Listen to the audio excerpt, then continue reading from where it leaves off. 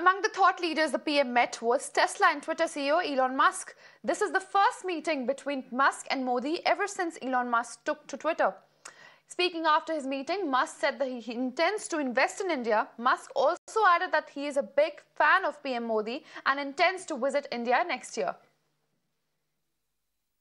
I'm actually incredibly excited about the future of India. I think uh, India um, has more promise than any large country in the world. The, the takeaways yeah. from the meeting. Uh, uh, takeaways from the meeting. Um, he really cares about India because he's, he's pushing us to make significant investments uh, in India, which uh, is something that we, that we intend to do.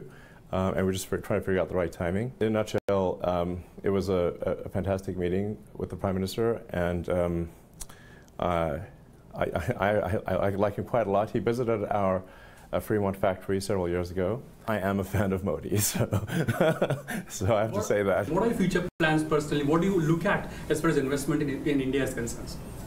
Yeah, um, well, I think there's there's a tremendous amount of uh, potential uh, for all three pillars of the um, sustainable energy future. Uh, the, th the three pillars being uh, sustainable energy generation through solar and wind primarily, and obviously India is great for solar, um, and um, the amount of land area you actually need to generate enough uh, electricity to power India is, is very small. I, I believe it'd be probably one or two percent of the land area of India, so it's, it's very doable. Um, and then you need to pair that with uh, stationary battery packs uh, because the sun doesn't shine at night.